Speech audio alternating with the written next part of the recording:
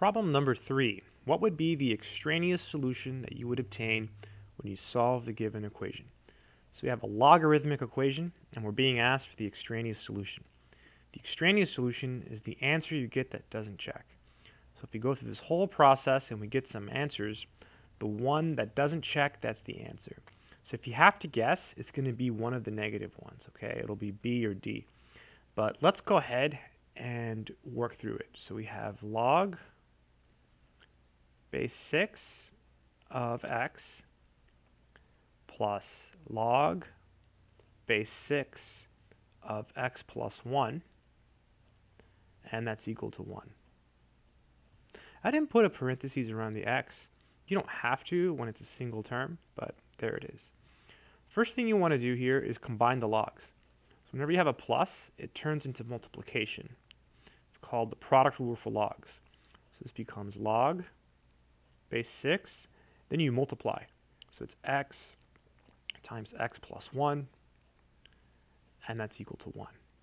One cheesy way to remember it is the addition turns into multiplication. I don't know if that helps, uh, but it might. So addition turns into multiplication. Okay, so now to get rid of the log, um, we have to exponentiate. So the base here is 6, so we'll put a 6 here and put a 6 here.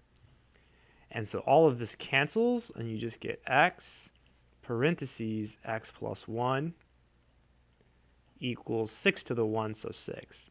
That's a really important technique. So for example, say you had log base 2 of x plus 3 equals 4. In this case, the base is 2, so you would exponentiate using a 2.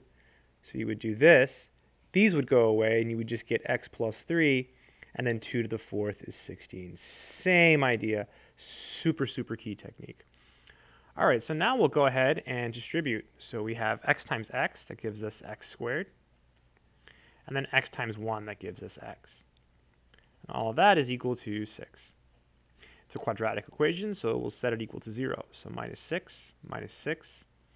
These cancel, so we get x squared plus x minus 6, and that's equal to 0. Good stuff. This should factor.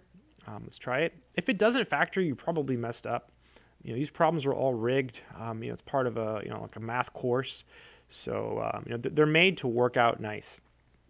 Let's see, we need two numbers that multiply to negative 6. I'm thinking 3 and 2, and I think the negative has to go in front of the 2, because if you do 3 plus negative 2, you should get 1. Yep, so you have a product equal to 0, so we set each factor equal to 0.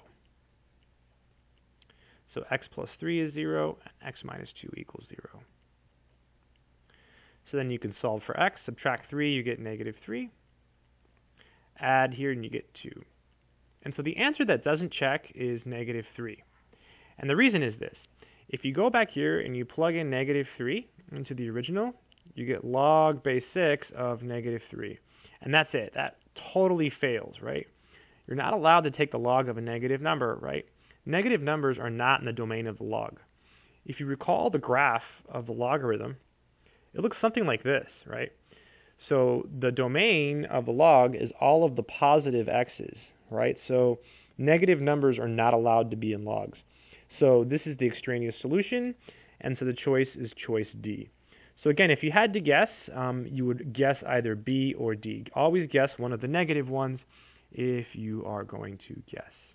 That's it. I hope that made sense.